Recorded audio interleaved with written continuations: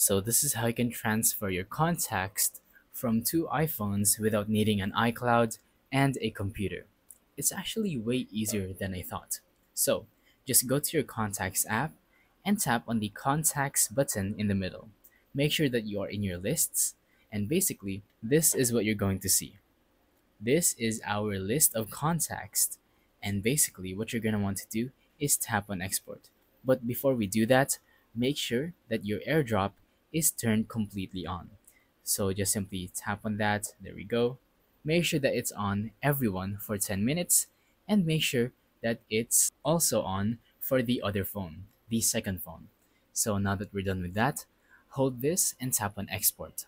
So just choose what kind of data that you want to get, the photo, their name, their mobile numbers, and their social profile, and tap on done. And so here we are. Now, what you're going to want to do is tap on airdrop.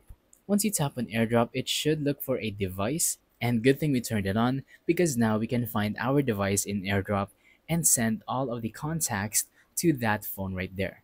As you can see, I tapped on airdrop and now you should look for your phone over here and tap on it and it's going to send all of your contacts into that phone right there. So that's about it for this video. Thank you for watching.